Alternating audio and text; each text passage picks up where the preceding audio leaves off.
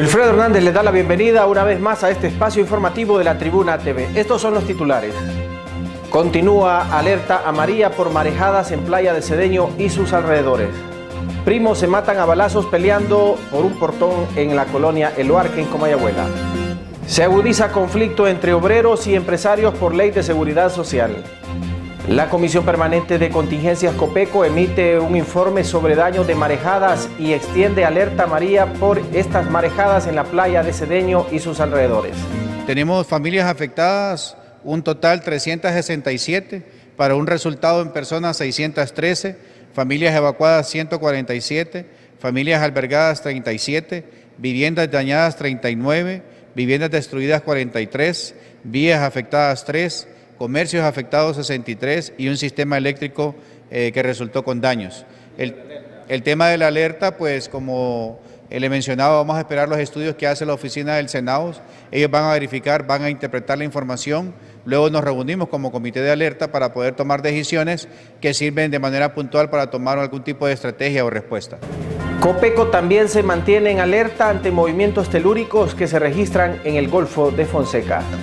Ayer a las 19 horas se dio un movimiento de 3.3 en escala Mercalli, imperceptible para la población, no para los equipos sísmicos. Hace dos semanas veníamos advirtiendo de que se estaba registrando una microsismicidad en la zona y que esto puede ser un indicio de que pueda venir un evento de mayores magnitudes. Sin embargo, el que haya liberación de fuerza con microsismicidad es bueno porque también puede ser que anticipe a un evento mayor con esa liberación paulatina. Los primos Isel Giovanni Pineda Fonseca, conocido como El Gordo, e Ismael Fonseca se mataron a balazos esta mañana peleando por un portón en la colonia El Loarque. Es que desde ayer se están agarrando a tiros, pues. El Gordo a Ismael. Y la, la, esposa de él fue a poner la denuncia y le dijeron que esperara 24 horas. Ahí están, las, típico de la policía, ahí están las 24 horas dos muertos por no llevar los presos y allá tenerlos mientras se les pasaba la, la cólera. ¿Y discutieron? No, y se, se, se, de un solo se vino el gordo encima de Ismael ¿Pero el otro con la pistola. También? también, los dos se mataron. Este es el tipo de cambio del empira en función del dólar y del euro. La Cruz Roja emitió un informe sobre las atenciones desarrolladas en los últimos dos años. A nivel nacional hemos atendido a más de 44 mil eh, migrantes retornados en Corinto. Eh, hemos eh, atendido eh, y hemos dado más de 127 mil productos sanguíneos en estos dos últimos años, teniendo en cuenta que la Cruz Roja tiene el casi 60% de atención en sangre en el, el, Ministerio de Salud, el 100% en el Seguro Social y un 90% en los hospitales privados. También eh, hemos hecho eh, más de 85 mil eh, atenciones prehospitalarias en nuestras ambulancias a nivel nacional. Hemos seguido trabajando en temas de gestión de riesgos y hemos atendido directamente a más de 86 mil personas directamente en nuestros proyectos de gestión de riesgo y más de 700 mil personas en, en temas de gestión de riesgos de forma indirecta. Se agudiza el conflicto entre obreros y empresarios por la ley de seguridad social. Con esta ley marco de protección social se va a fortalecer, eh, permite eh, o implica el pago de la deuda histórica que tiene el Estado de Honduras con la institución, permite también eh, el fortalecimiento de la red pública de salud, de, del Seguro Social y de sus proveedores públicos. Según el empresario Jimmy Dacaret, esta ley provocará miles de despidos en, en microempresas.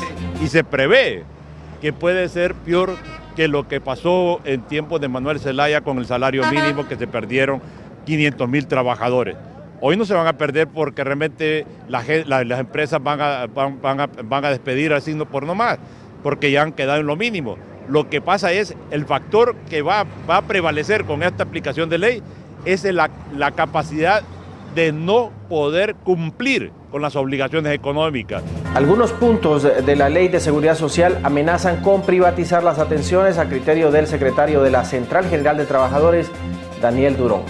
Pero hay algunos, algunas dudas, algunos riesgos que nosotros les hemos planteado ya de manera oficial.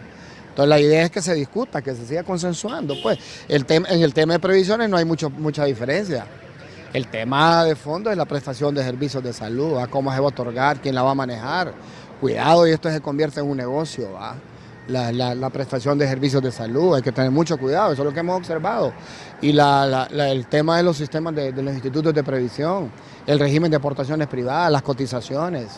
Y el gobierno ha incumplido en su promesa de garantizar la seguridad ciudadana, señala el diputado Augusto Cruz Asensio. Todavía los temas de narcotráfico, narcotráfico eh, narcomenudeo, el tema de la extorsión y del sicariato continúan golpeando a la población hondureña.